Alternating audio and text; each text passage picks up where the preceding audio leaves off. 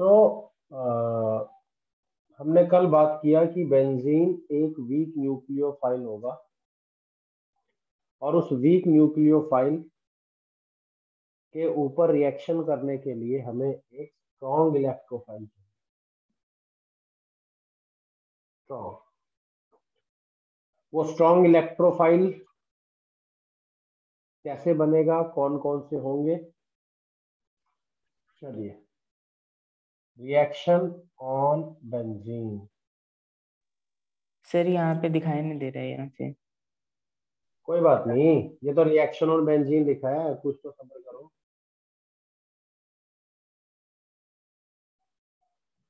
चलिए reaction on benzene कौन कौन से होंगे?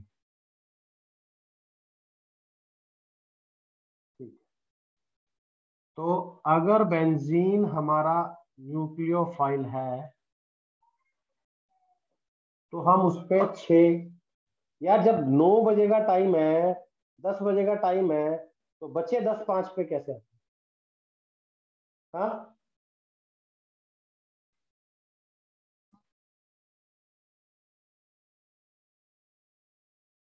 हाँ यार?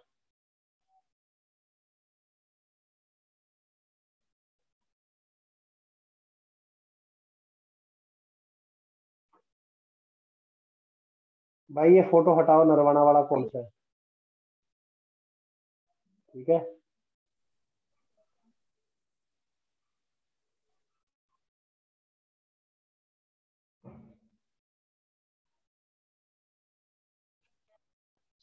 चलिए।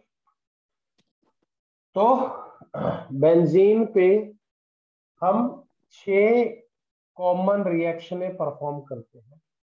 उन छह में से पहली अल्काइलेशन होगा। ये जो रिएक्शनों के नेम है, ये इलेक्ट्रोफाइल के नेम पे जिस इलेक्ट्रोफाइल को आप बेंजीन पे लाना चाहते हैं, जिस इलेक्ट्रोफाइल को आप बेंजीन पे सब्सिट्यूट करना चाहते हैं, उस इलेक्ट्रोफाइल के नाम पे नॉर्मली रखा जाए क्या आपको आवाज़ आ रही है? सिर्फ़ हरमन का मैसेज आ रहा है कि नहीं? Yes sir. आ रही। है सर। आ रही है सर। आ रही है सर आवाज़। अरमान जी आपकी वाली तरफ़ प्रॉब्लम होगी बच्चे मेरी तरफ़ से होगी तो सबको होगी।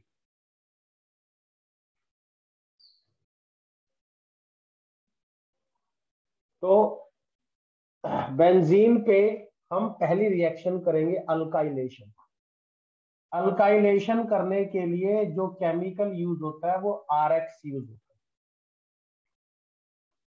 Alkyl halide but alkyl halide में जो कार्बन होगा, ये कोई भी होगा हेलोजन क्लोरीन ब्रोमीन आयोडीन ये कार्बन चेन कोई भी होगी। Methyl ethyl propyl isobutyl tertiary butyl कोई भी होगी, उसके अकॉर्डिंगली ये चलेगा। ठीक है? तो लेकिन जो अल्काइल हेलाइड हम यूज़ करेंगे, उसमें कार्बन पे डेल्टा पॉजिटिव होगा और एक्स पे डेल्टा नेगेटिव होगा। हमें ये कंफर्म हो चुका है कि आर हमारा वीक इलेक्ट्रोफाइल ये कंफर्म है लेकिन इसे हमें पहले स्ट्रॉन्ग में कन्वर्ट करना होगा, तभी तो बेंजीन इसको अप्रोच करेगा। उसके लिए हम आर एक्स के साथ में जो नया केमिकल डालते हैं, वो A N C N three डालते हैं। AlCl3 क्या काम करता है? AlCl3 RX के साथ रिएक्ट करता है। कैसे? एल्यूमिनियम एक इलेक्ट्रोफाइल होता है, लुइस एसिड या डेफिशिएंट मॉलिक्यूल होता है। ये एल्यूमिनियम का थ्री पी जेड ऑर्बिटल है, जो कि खाली मैं दिखा रहा हूँ। एक्स हेलोजन के ऊपर लोन पेयर होती है। तो आर एक्स पहले रिएक्शन करता है ए के साथ और एक्स अपने इलेक्ट्रॉन डोनेट करता है ए इस रिएक्शन से जो केमिकल बनता है वो R X A L C L three X पे पॉजिटिव ए एल पे नेगेटिव और उनका बॉन्ड बन जाता है। यहाँ तक समझ में आया बच्चे? Yes sir yes sir yes sir halogens electronegative होते हैं इसलिए उन पे पॉजिटिव चार्ज अनस्टेबल है। और मेटल्स के ऊपर नेगेटिव चार्ज अनस्टेबल तो आर एक्स और A L C L three की रिएक्शन से जो कॉम्प्लेक्स बनता है वो थर्मोडाइनमिकली लेस स्टेबल होता है। पुनीत यार दस बार एडमिट कर चुका हूँ।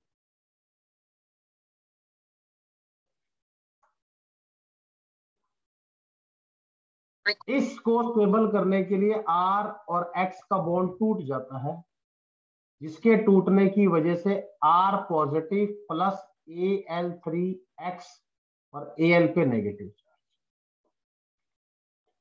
ये मॉलिक्यूल अनस्टेबल हो जाता है और उसे स्टेबिलिटी में रीगेन करवाने के लिए आर और एक्स का बॉन्ड टूट जाता है, जिससे हमें आर पॉजिटिव मिलता है कार्बोकेटायन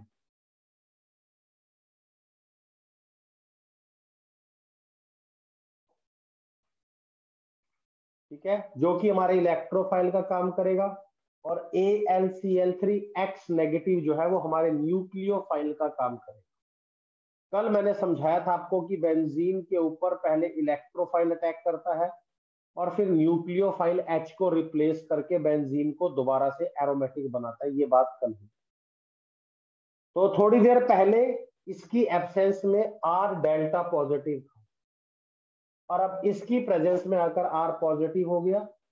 एक वीक इलेक्ट्रोफाइल एक स्ट्रॉन्ग इलेक्ट्रोफाइल में कन्वर्ट हो गया। देखो जी बच्चे ये सिचुएशन समझ में आई? यस सर यस सर फिर कैसे होता है?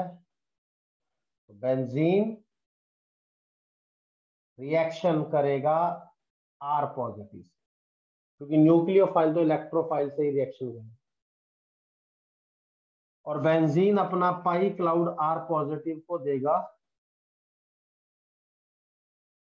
यहाँ मैंने कल सिखाया था आप लोगों को कि एच आता है और ई e आता है। आज हमने उस ई e का नाम रख दिया है आर ये हो गया।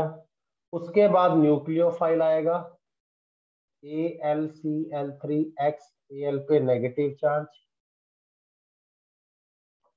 न्यूक्लियोफाइल एच को विड्रॉ कर लेगा और दोनों इलेक्ट्रॉन दोबारा देकर बेंजीन को एरोमेटिक बना देगा। ऐसा करने पे बेंजीन का एच आर से रिप्लेस हो जाएगा और हमारे पास A L C L three अलग हो जाएगा। जो एच पॉजिटिव निकलेगा, वो एक्स के साथ अप्रोच करके दोबारा एच एक्स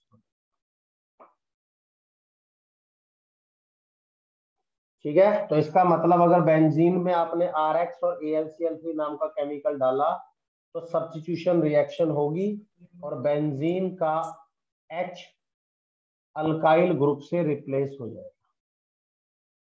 और एच एक्स अलग हो जाएगा। A L C L three यहाँ पे कैटलिस्ट होगा।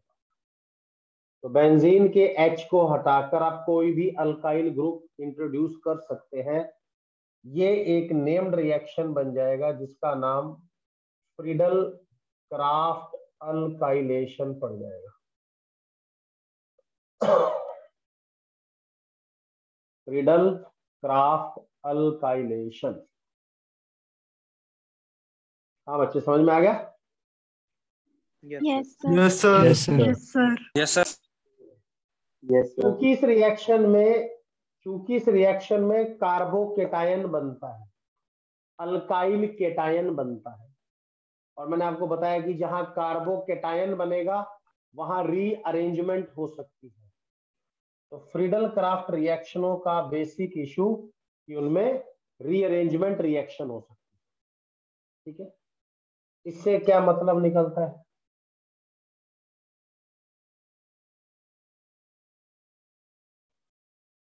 अगर मैं आर की वैल्यू पुट करता हूँ सी एच थ्री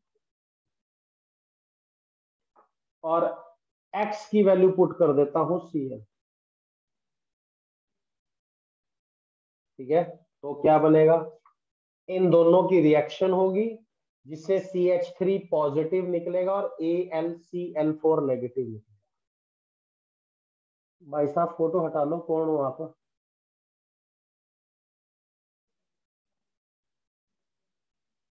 या मैं हटाऊं?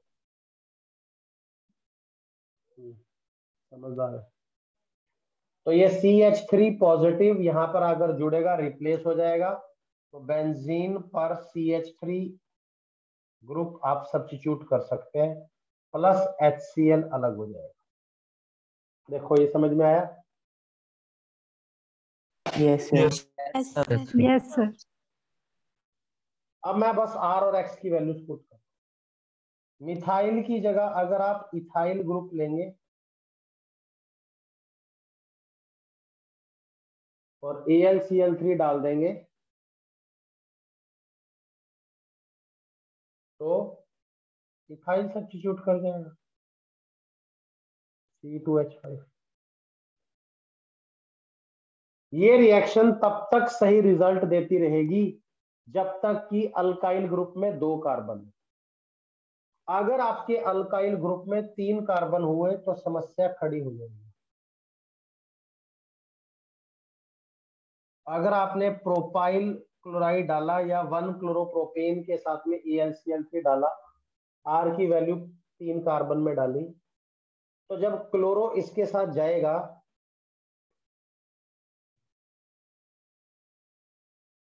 तो यहाँ पॉजिटिव चार्ज आएगा जो कि वन डिग्री कार्बोकेटाइन ठीक है? और जब वन डिग्री कार्बोकेटाइन आपको बनेगा तो मैंने आपको पढ़ा रखा है, कई बार पढ़ा रखा है दोनों क्लासों में कि कार्बोकेटाइन अपने आप को रीअरेंज करेगा। और यहाँ से अपना H रिप्लेस करके वन टू हाइड्राइड शिफ्ट कर सकता है और अपने आप को टू डिग्री में कन्वर्ट करवा सकता है। देखो जी ये किसको समझ में आया? यस यस सर यस तो फ्रीडल क्राफ्ट अल्काइनेशन अच्छे रिज़ल्ट सिर्फ़ मिथाइल और इथाइल में देती है। तीन के बाद आप लोग, तीन या तीन के बाद आप कोई भी डालेंगे तो उस कार्बोकटाइन में आपको रीअरेंजमेंट देखने को मिल जाएगी। तो इस अवस्था में दो प्रोडक्ट बनेंगे। ये H यहाँ पॉजिटिव चार्ज लाएगा, जिससे कि ये C H C H three C H three बनेगा उस कार्बोकेटाइन से ठीक है? प्लस बिना रीअरेंजमेंट वाला कार्बोकेटाइन भी अगर रिएक्ट कर जाता है तो ये बनेगा। बट वो वाला ज़्यादा स्टेबल कार्बोकेटाइन है तो उससे ज़्यादा मेजर प्रोडक्ट बनेगा, ज़्यादा अमाउंट में प्रोडक्ट बनेगा। तो ये बनेगा आपका मेजर ये बनेगा माइनर माइनर दिखाने की लोड नहीं। ठीक है? यस सर यस सर अगर आपका मॉलिक्यूल ऐसा हो जाता है आगे की कहानी उन्हीं लोगों के लिए जो पढ़ते हैं। नहीं तो गेम बाहर हो जाएगी अगर हम इस मॉलिक्यूल को डालते हैं बेंजीन के साथ तो यहाँ से सीएल जाने के बाद इस पे पॉजिटिव चार्ज आएगा जो कि वन डिग्री होगा। लेकिन उससे अगले वाले कार्बन के पास मिथाइल ग्रुप्स लगे हुए हैं जो कि रीअरेंज करवा सकते हैं इसको और पॉजिटिव चार्ज इस कार्बन पे आ सकता है। ये लाइन समझ में आई? Yes sir yes yes sir sir और अगर ऐसा हुआ तो बेंजीन के ऊपर जो कार्बन अटैच होगा वो ये वाला होगा। अब इस कार्बन के ऊपर दो तो सी एच थ्री ग्रुप रहेंगे। और तीसरा ग्रुप सी एच टू और ये सी एच थ्री इधर घूम कर आ जाएगा। ये वाला प्रोडक्ट ये। तो फ्रीडल क्राफ्ट अल्काइलेशन रिएक्शनों में ये प्रॉब्लम है कि वो रीअरेंजमेंट प्रोडक्ट्स भी सप्लाई करती है। ठीक है तो ये आपकी पहली नेम्ड इलेक्ट्रोफिलिक सब्स्टिट्यूशन है फ्रीडल क्राफ्ट अल्काइलेशन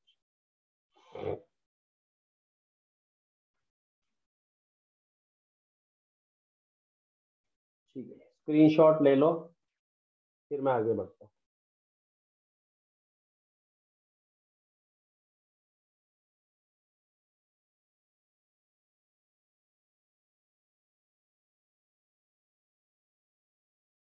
दस बजे की क्लास है।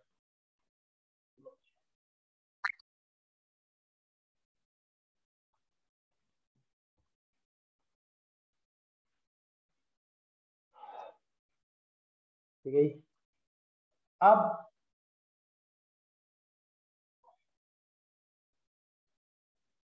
अभी तक मैंने जो मॉलिक्यूल डाले हैं, वो अल्काइल हेलाइड थे। ठीक है? उसमें एक ही हेलोजन ग्रुप था। लेकिन दो हेलोजन भी हो सकते हैं।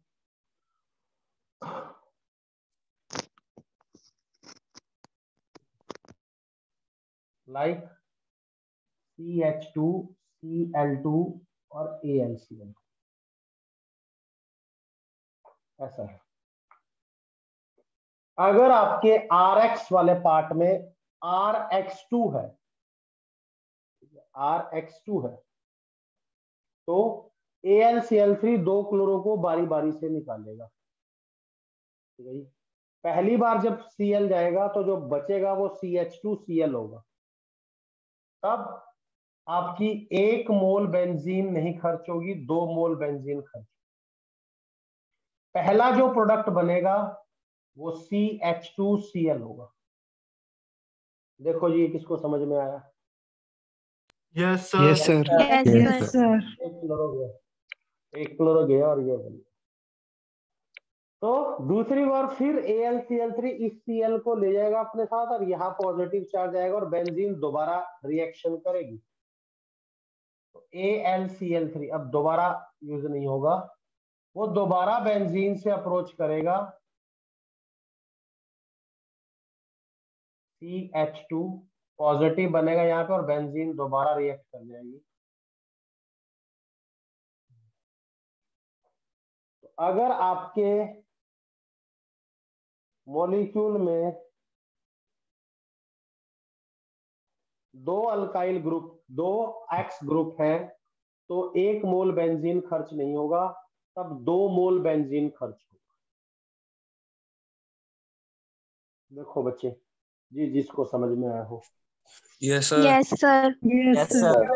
Yes sir अगर आपके मॉलिक्यूल का नेम आर एक्स टू ना होकर आर एक्स थ्री हो जाता है तब तीन मोल बेंजीन लगेगा बेंजीन यहाँ पॉजिटिव पहली बार बनेगा, फिर यही दूसरी बार बनेगा, यही तीसरी बार बनेगा तो सी एच रहेगा। पहली बेंजीन से एक बॉन्ड फिर दूसरी बेंजीन से एक बॉन्ड फिर तीसरी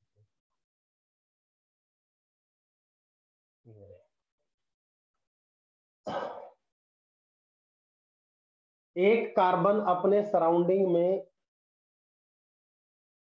सिर्फ़ तीन ही बेंजीन को संभाल सकता है, चार बेंजीन नहीं होंगे।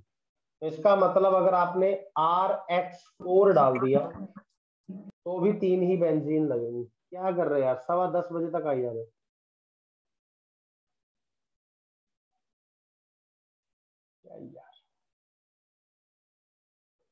तो अगर आपने आर एक्स फोर भी डाला तो भी आपका प्रोडक्ट जो है, वो तीन बेंजीन वाला ही बनेगा, तब सी रहेगा। तीन बेंजीन रहेंगी और एच नहीं रहेगा यहाँ पे एक सी एल रहेगा चौथा बेंजीन आकर रिएक्ट नहीं करेगा समझ में आ गया yes sir yes sir. Yes, sir. Sir. Yes, sir.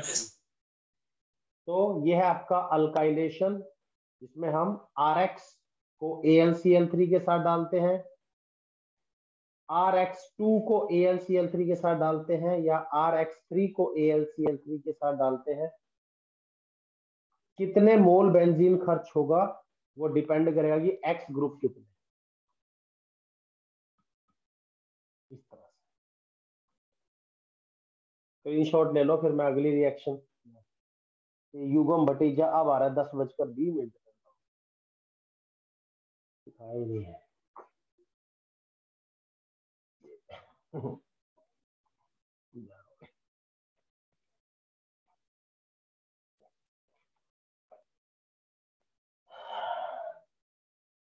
Benzene के ऊपर होने वाली दूसरी named reaction Friedel Crafts acylation भी हो सकता है। फ्रीडल क्राफ्ट असाइलेशन ठीक है? Friedel Crafts acylation acyl group acylation जैसे अल्काइलेशन में अल्काइल को जोड़ते हैं असाइलेशन में असाइल को जोड़ते हैं। असाइल का मतलब होता है कीटोन तो फ्रीडल क्राफ्ट असाइलेशन में हम बेंजीन लेंगे और बेंजीन में असाइल डालेंगे। R C double bond O ये कीटोनिक पार्ट हो गया। इसके साथ एक्स लगा देंगे। अब ये आपका मॉलिक्यूल बन गया एसिड हेलाइड नॉर्मली हम इसे क्लोराइड यूज़ करेंगे।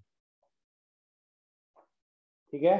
एसिड क्लोराइड लेंगे और उसके साथ में AlCl3 डालेंगे।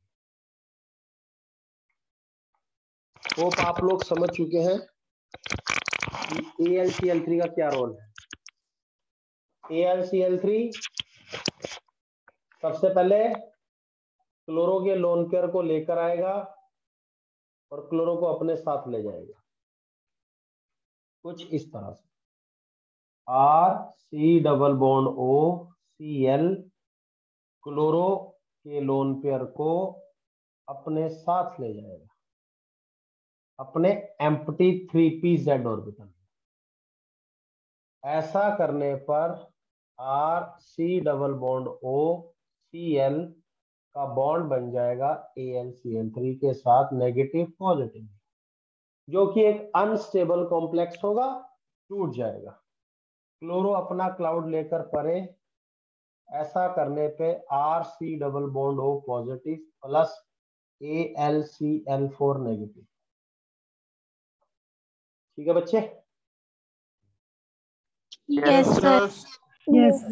इलेक्ट्रोफाइल ये इलेक्ट्रोफाइल बेंजीन अट्रैक्ट कर लेगा अपने ऊपर और रिप्लेसमेंट हो जाएगा C double bond O R plus H X क्योंकि एच सी एल होगा इस ग्रुप को कीटोनिक ग्रुप को असाइल ग्रुप बोलते ये रिएक्शन बन जाएगा Friedel Crafts acylation replacement of H by acyl group जिसके लिए केमिकल एसिड क्लोराइड और AlCl3 होंगे। अब आर पार्ट को हम चेंज नाम रखेंगे। आर का नाम रखेंगे। सबसे छोटा R इसमें रीअरेंजमेंट का भी खतरा नहीं है, क्योंकि ये असाइल के टाइन बना हुआ है। अल्काइल होता तो rearrange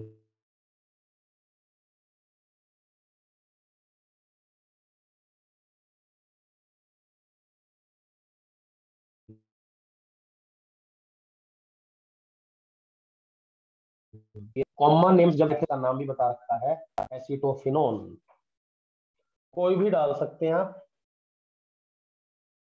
C two H five C double bond O C L A L C L three इसे डालेंगे।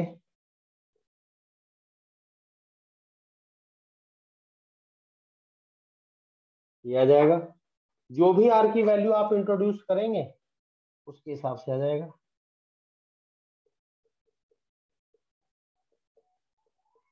कुछ भी चेंज नहीं आएगा, बस आर पार्ट वेरी हो सकता है, बाकी सब कांस्टेंट है।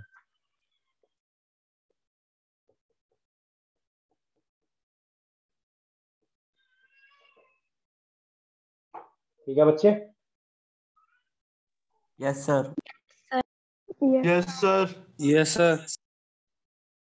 अगर हमारी बेंजीन में हमारे एसिड क्लोराइड में दो तरफ़ एसिड क्लोराइड हुआ जैसे अभी हमने यूज़ किया तो C double bond O C L three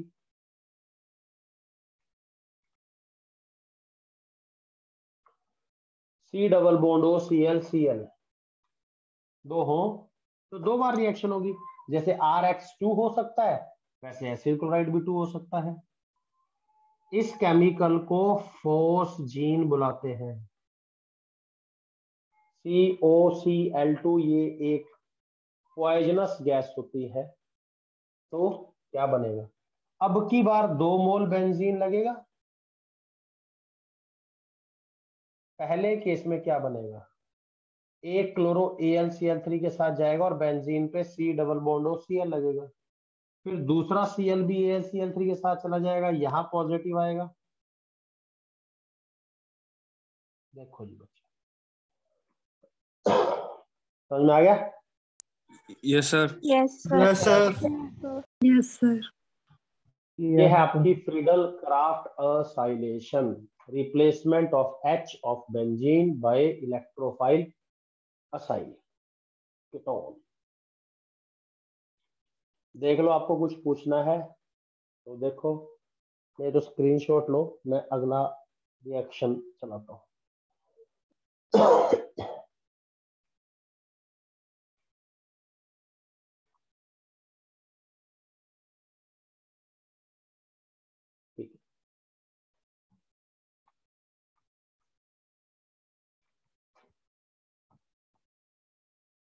चलो। बेंजीन पे होने वाला तीसरा रिएक्शन हेलोजिनेशन होगा। अब आप बेंजीन के एच को रिप्लेस करेंगे एक्स से। तो कई बच्चे सोच लेते हैं कि बेंजीन में एच एक्स डाल दो तो एक्स आ जाएगा। वो सोचते भी नहीं कि एक्स की क्या प्रॉपर्टी है यहाँ पे। एच यहाँ पॉजिटिव चार्ज है एक्स यहाँ नेगेटिव चार्ज है। एक्स अगर नेगेटिव चार्ज है तो वो न्यूक्लियोफाइल है यहाँ और बेंजीन भी न्यूक्लियोफाइल है। न्यूक्लियोफाइल पे न्यूक्लियोफाइल रिएक्ट नहीं कर सकता। तो अगर आपको बेंजीन पे हेलोजन को एंटर करवाना है तो एच एक्स आपका केमिकल नहीं हो सकता समझ में आया बच्चे Yes, sir. Yes, sir. Yes. आपको ऐसा कोई केमिकल चाहिए जहाँ पे हेलोजन इलेक्ट्रोफाइल हो क्योंकि ये कंफर्म्ड न्यूक्लियोफाइल है उसके लिए हम लोग X2 लेते हैं और X2 के साथ में FeX3 लेते हैं हेलोजन लेते हैं और हेलोजन के साथ में FeX3 लेते हैं। जो काम A L C L three करता है अल्काइलेशन और असाइलेशन में सेम वही काम एफ़ थ्री भी करता है। तो कुछ लोग सोच सकते हैं कि भाई A L C L three डालेंगे तो रिएक्शन नहीं होगा क्या? होगा। बट उतना अच्छे से आउटपुट नहीं आएगा जितना अच्छे से आउटपुट FeX3 के साथ आएगा कारण क्या है? कारण सिंपल है। हमारे घरों में जो सब्ज़ियाँ बनती हैं, उन सब्जियों में तड़के लगते हैं। वो तड़का कई बार जीरे का होता है तो कई बार धनिए का होता है तो कई बार मेथे का होता है। आपको आलू की सब्ज़ी बनानी है, पीले वाली दाल बनानी है उसमें जीरे का तड़का लगाइए अगर आपको स्वाद निखारना है। आपको कड़ी बनानी है, आपको पेठा बनाना है तो उसमें मेथे का तड़का लगाइए। आपको काले वाली दाल बनानी है, उसमें हरे धनिए का तड़का लगाइए। तो क्या पीले वाली दाल को मेथे का तड़का लगाएँगे तो नहीं बनेगी? बनेगी। लेकिन उतना स्वाद नहीं आएगा। कड़ी को क्या जीरे का तड़का नहीं लगा सकते लगा सकते हैं लेकिन वो टेस्ट नहीं आएगा जो मेथे के साथ आएगा समझ रहे हो Yes, sir. Yes, sir. Yes, Yes, sir. sir. Yes, sir. ASCL Yes, sir. के साथ भी reaction- अच्छा जी ठीक है बेटा काफ़ी एक्साइटेड लग रहे हो हैं रिश्ता रुश्ता तो नहीं कर दिया घर वालों ने चलो तो AlCl3 के साथ भी रिएक्शन होगी बट वो आउटपुट नहीं है। हम उसी कैटलिस्ट को यूज़ करते हैं, जिसके साथ आउटपुट मैक्सिमम रहे। एक्स की वैल्यू यहाँ क्लोरो ब्रोमो और आइडो रहेगी। फ्लोरो नहीं रहेगी। ठीक है? उसके दो रीजन पहला रीजन कि फ्लोरीन एक एक्सप्लोसिव केमिकल होता है। ठीक है? दूसरा रीजन जो हेलोजन हम यूज़ कर रहे हैं बच्चे, ये मैंने आपको एल्कीन और अल्काइन में भी समझाया था कि जो हेलोजेंस होते हैं, उनके पास दो प्रॉपर्टीज़ होती है। एक, उनके पास अपने एम्पटी डी ऑर्बिटल होते हैं, जिससे वो इलेक्ट्रोफाइल होते हैं, और दूसरा, उनके पास अपने लोन पेयर होते हैं, जिससे वो न्यूक्लियोफाइल होते हैं। फ्लोरीन के पास लोन पेयर तो होते हैं, लेकिन एम्पटी डी ऑर्बिटल नहीं होते।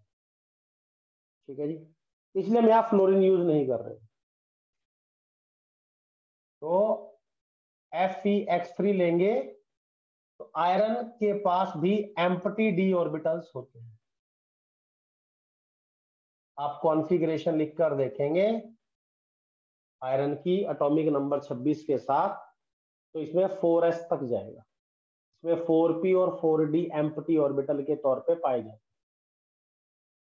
तो आयरन के पास अपने एम्पटी डी ऑर्बिटल रहते हैं। उन एम्पटी डी ऑर्बिटल में वो हेलोजन के इलेक्ट्रॉन को खींचने का काम करता है, जिसकी वजह से X2 और Fe में रिएक्शन हो जाता है और सेम पहले वाला डायग्राम बन जाता है।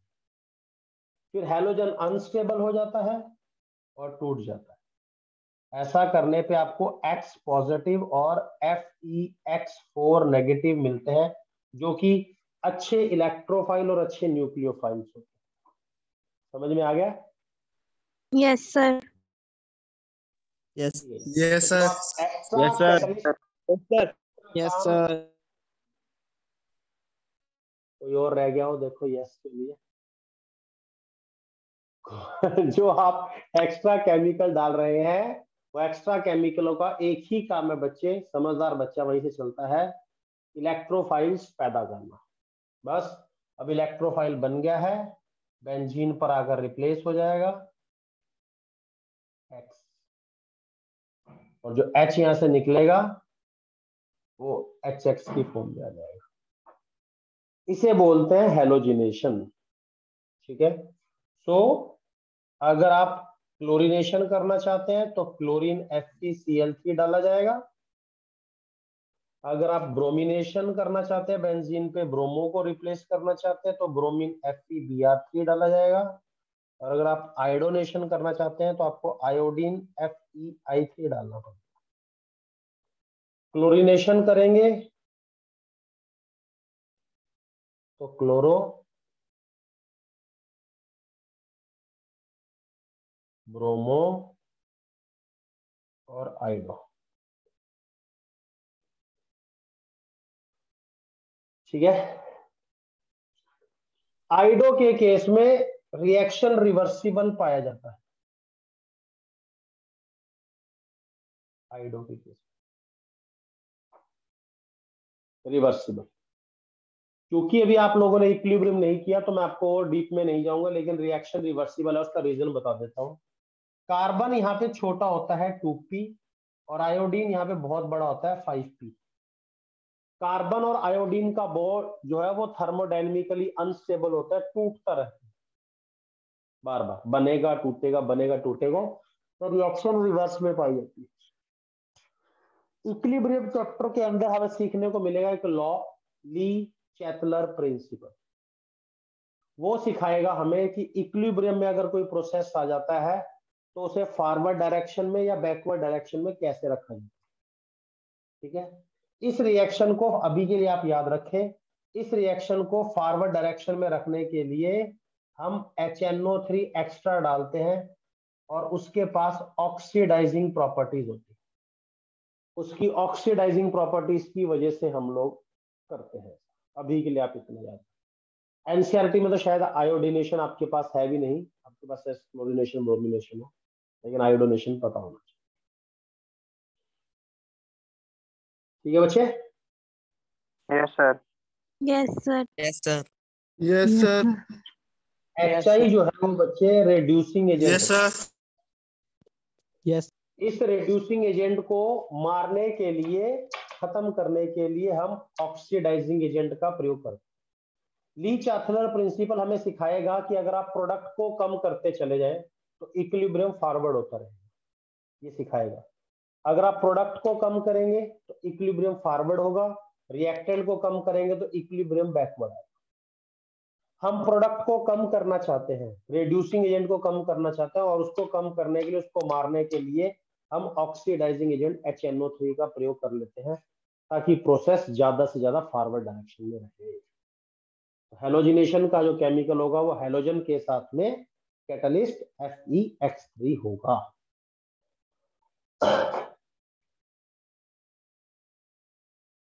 तो टोटल तीन केमिकल हो गए।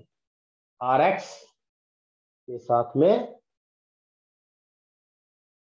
A L C L three संभव जी, अब टाइम है कि क्लास में आने का? हेलो संभव जी।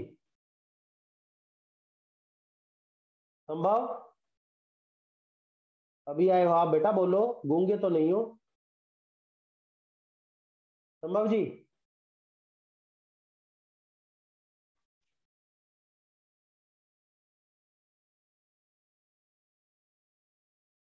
दस बजे की क्लास चल रही है, दस छत्तीस हो गए बोलो तो सही बेटा। तो पहला केमिकल मन में रिवाइंड करो बच्चे। आर एक्स के साथ में ए एल सी एल जो अल्काइल ग्रुप देगा। दूसरा chemical R C O X के साथ में ए एल सी एल जो असाइल देगा। तीसरा केमिकल एक्स टू के साथ में एफ़ सी एक्स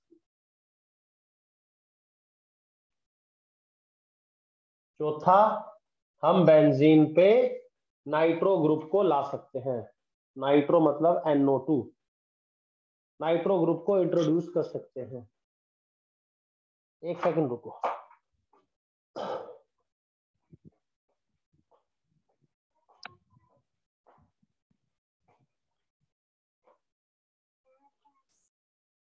क्या हुआ?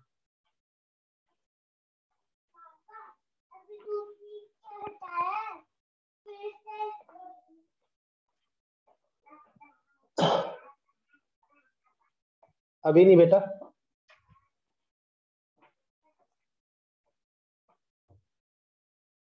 ना ना किसी नो।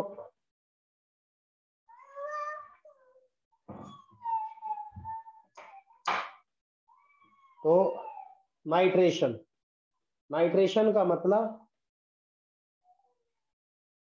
क्या कह रहे टाइम नहीं है मेरे पास। क्या कह रहे संभव जी आप? संभव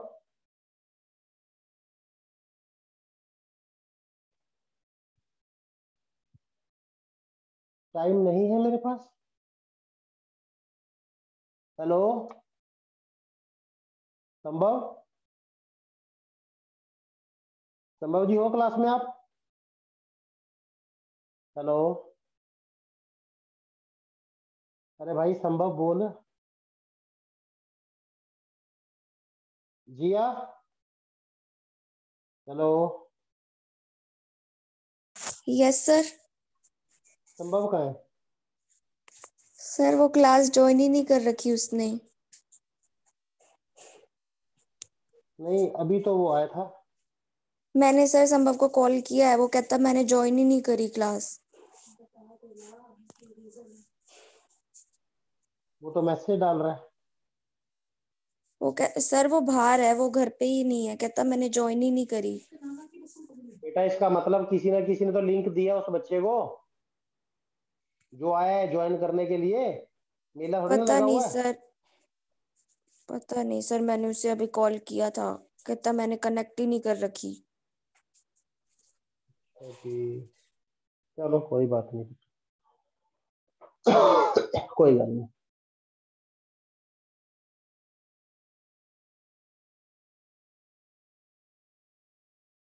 कोई बात नहीं।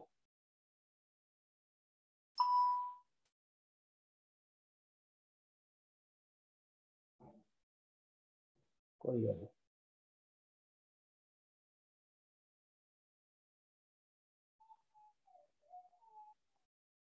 चलो तो नाइट्रेशन करते हैं। नाइट्रेशन करने के लिए मैं NO2 इलेक्ट्रोफाइल चाहिए।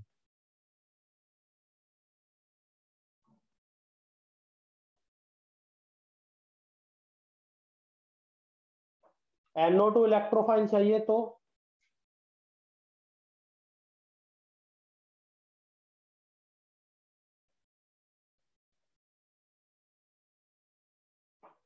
H N O three plus H two S O हम लोग केमिकल यूज़ करते हैं H N O three nitric acid के साथ में H two S O four ये चौथा केमिकल होगा। ये कैसे काम करता है?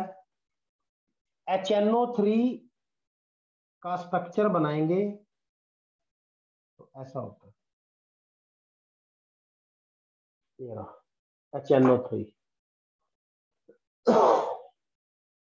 ठीक है? ये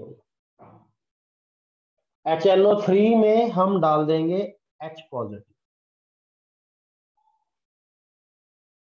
H N O three में डाल देंगे एच पॉजिटिव ये H positive H two S O four है, थोड़ा सा डालना है कैटालिटिक अमाउंट में। ये पूरा है। तो एच एन ओ थ्री के अंदर हमें एनओ टू को अलग करना है। लेकिन ओ का बॉन्ड स्ट्रांग होता है और लेस पोलर होता है। क्योंकि एन की इलेक्ट्रोनेगेटिविटी नंबर तीन पे और ओ की इलेक्ट्रोनेगेटिविटी नंबर दो पे है। दोनों में डिफरेंस ऑफ़ इलेक्ट्रोनेगेटिविटी ज़्यादा नहीं है। तो इस बॉन्ड को तोड़ने के लिए हम सल्फ्यूरिक एसिड का प्रयोग करते हैं। वो सल्फ्यूरिक एसिड हमें एच पॉजिटिव देता है एसिड की तरह। और नाइट्रिक एसिड के ओ के लोन पेयर को खींच लेता है। ऐसा करने के दौरान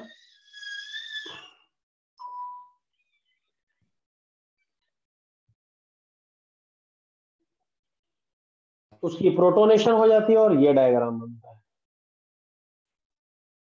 ठीक है? देखो जी ये किस किस को समझ में आया? Yes sir Yes, sir. Yes, sir.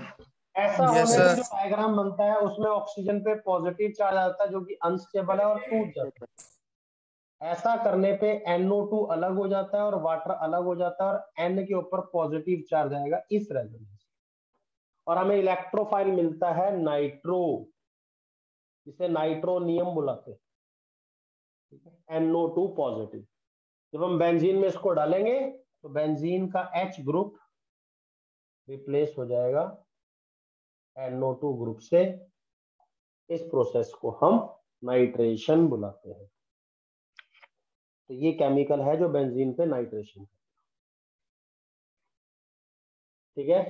छठा प्रोसेस Yes, जो. बेंजीन की की हाँ हाँ ठीक है पुत्र। छठा सॉरी पांचवा और आखिरी रिएक्शन जो बेंजीन पे किया जाता है, वो सल्फोनेशन होता है। प्लीज़ ये केमिकल्स के नाम ध्यान रखिएगा, क्योंकि आगे मुझे आपको ऑर्थो पैरा बताना है। सल्फोनेशन करेंगे तो बेंजीन में हम सल्फ्यूरिक एसिड डालेंगे एक्सेस में।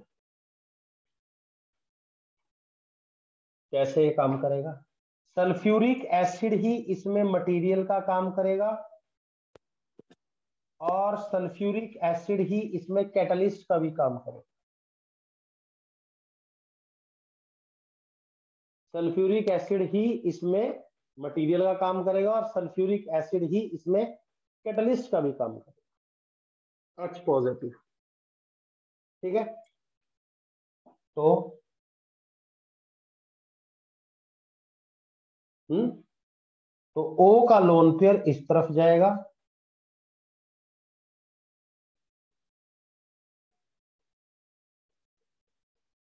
और ओ एच टू पॉजिटिव बनेगा। ये H पॉजिटिव कहाँ से आया? है ये H2SO4 से ही आया है।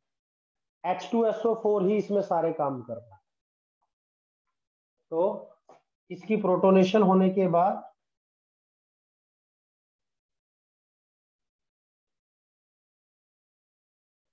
ये बनता है और वाटर अलग होता है। ये जो केमिकल बनेगा जो इलेक्ट्रोफाइल बनेगा वो SO3H होगा। और वो SO3H सल्फोनिक ग्रुप होता है और वो सल्फोनिक इलेक्ट्रोफाइल बेंजीन पर आएगा और सल्फोनेशन करेगा। SO3H इस प्रकार रहेगा। ये ठीक है बच्चे? श्योर हो Yes, Yes, sir. sir. Yes sir Yes, sir. Yes, sir. Yes sir अब अपने पाँचों के पाँचों केमिकल्स को देख लो एक बार जो मैंने डालकर पर्टिकुलर रिएक्टिव ग्रुप डाले हैं इसका स्क्रीनशॉट ले लो ताकि मैं आपको रिएक्शन बनवा पाऊँ इन सभी रिएक्शनों में केमिकल अलग अलग डले हैं लेकिन प्रोसेस एक हुआ है। Replacement of H of benzene ठीक है? Replacement of H of benzene by electrophiles like उसने मुझे कहा कन्वर्ट बेंजीन बेंजीन को बदल दो। किसमें into one bromo three nitro benzene. Hmm? ऐसा कुछ पूछा गया। तो हमारा रिएक्टेंट बेंजीन है और हमें इस बेंजीन को एक केमिकल में बदलना है।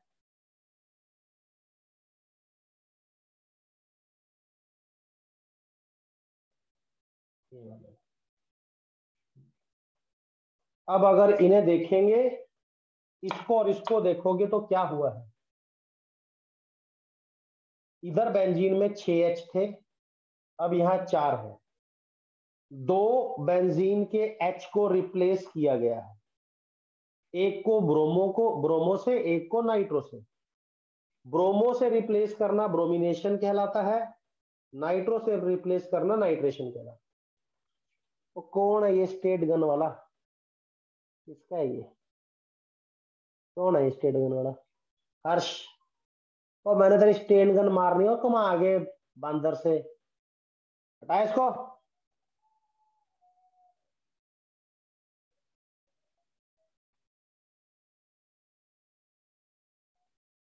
लगा रखी है, पबजी कहीं का। तो बेंजीन पे हमें दो रिप्लेसमेंट करनी है एक ब्रोमिनेशन और एक नाइट्रेशन कितनों को समझ में आ गया? Yes sir yes sir yes sir लेकिन मुद्दा ये उठेगा इस बात का सिलेक्शन करना होगा कि पहले क्या करना है। ब्रोमिनेशन करना है या नाइट्रेशन करना ठीक है? उसके लिए आप ग्रुप्स देखेंगे कि वो दोनों ग्रुप एक दूसरे के विद रिस्पेक्ट टू किस अवस्था में है। कल मैंने आपको बताया था कि अगर हम बेंजीन पे कोई माइनस आई माइनस आर का ग्रुप जोड़ देते हैं तो वो मेटा डायरेक्टिंग हो जाता है और डीएक्टिवेटिंग हो जाता है। और कहा था कि अगर किसी ग्रुप के पास प्लस आर हो तो वो ऑर्थो पैरा डायरेक्टिंग एक्टिवेटिंग और डीएक्टिवेटिंग दोनों हो सकता है। पढ़ा है आप लोगों ने बात? यस सर यस सर तो उन दोनों ग्रुप्स को देखो अगर वो दोनों ग्रुप एक दूसरे के with respect to one three है वन टू है या वन फोर तो वन थ्री है तो आप पहले वो ग्रुप जोड़ेंगे जो माइनस आई माइनस आर का हो, वो ग्रुप पहले जोड़ना है। वन टू या वन फोर हो तो पहले वो ग्रुप जोड़ना है जो plus R over minus I हो या प्लस एच प्लस आई हो। वो ग्रुप पहले जोड़ना है। ठीक है? ये ऑर्थो के लिए, ये पैरा के लिए, वो मेटा के ठीक है जी? ब्रोमो के लिए माइनस आई प्लस आर होता है। ये आ गया। ठीक है? और नाइट्रो के लिए माइनस आई माइनस आर। अब मैंने कल पढ़ा था जिनका माइनस आई और प्लस आर होता है वो ऑर्थो पैरा डायरेक्टिंग होते हैं मतलब वो वन टू वन फोर को फॉलो करते हैं। समझ में आ गया? Yes sir yes sir yes sir yes sir जो माइनस आई माइनस आर के होते हैं, वो मेटा डायरेक्टिंग होते हैं और वन थ्री को फॉलो करते तो इसका मतलब पहला प्रोसीजर जो हमें करना होगा, वो नाइट्रेशन करना होगा। तो बेंजीन पे जो पहली रिएक्शन होगी, वो नाइट्रेशन होगी और जो बच्चों ने तैयार कर लिया है नाइट्रेशन करने के लिए chemical H N O three plus H two O four होगा। फिर करना होगा ब्रोमिनेशन उसके लिए chemical bromine F T B R इस तरह से चूज़ किया जाएगा।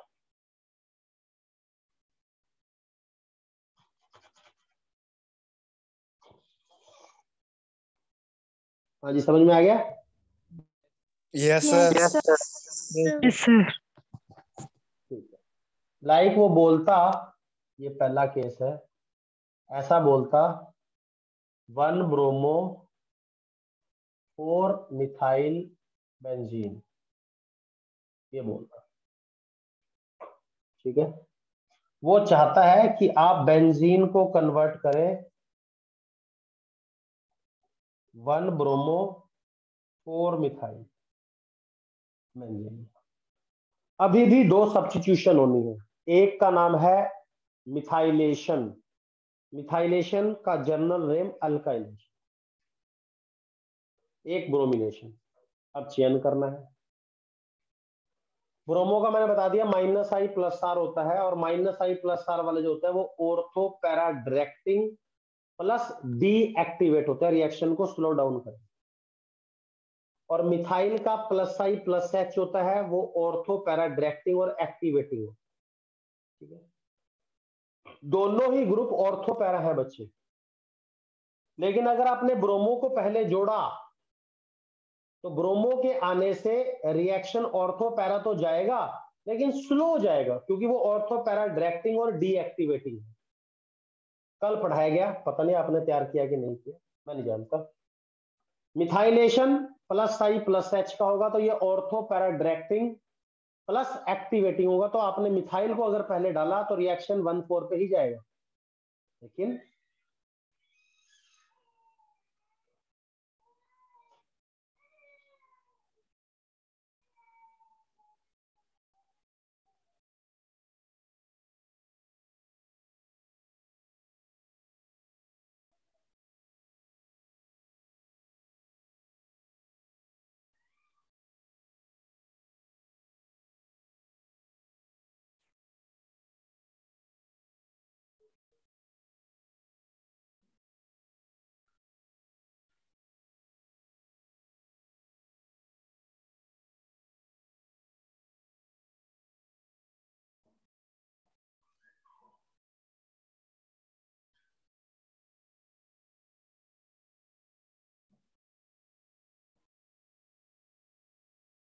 कौन है ये जो मैसेज कर रहा है? हाँ जी। कौन है ये बच्चा?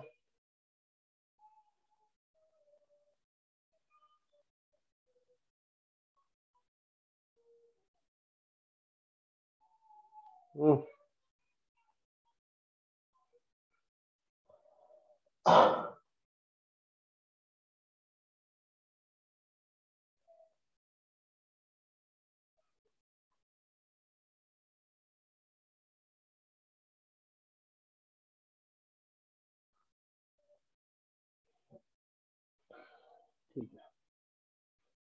तो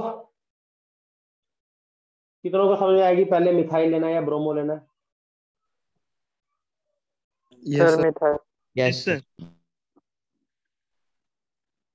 तो हम पहले मिथाइल ग्रुप जोड़ेंगे क्योंकि इससे रिएक्शन फास्ट होगा। तो पहला स्टेप अल्काइलेशन होगा। सी एच थ्री आर की value C H three C L के साथ में A L C L three और दूसरा स्टेप होगा बच्चे ब्रोमीन के साथ में एफ़ इस प्रकार से।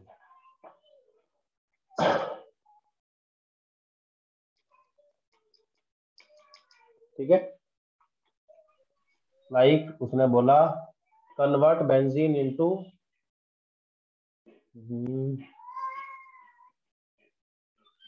one methyl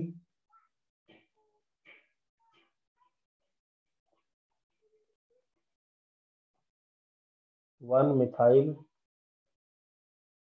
two nitrobenzene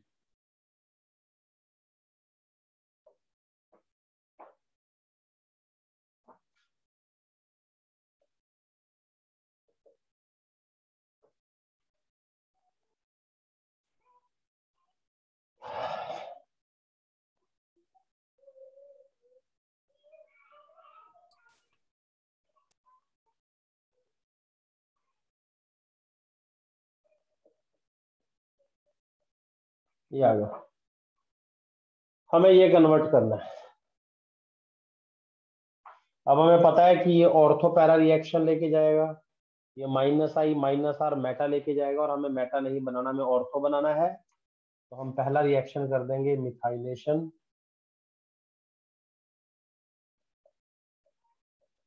और दूसरा रिएक्शन कर देंगे नाइट्रेशन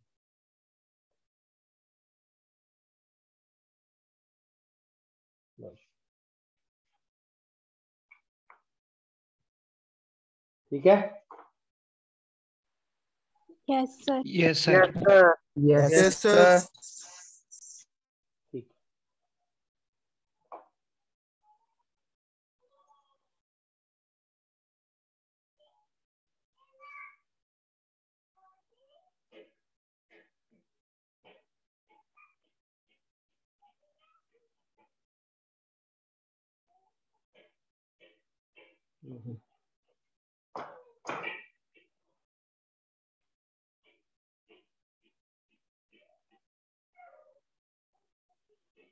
इस तरह से आपको बेंजीन के ऊपर बच्चे एक सब्स्टिट्यूशन और दो सब्स्टिट्यूशन करना होगा।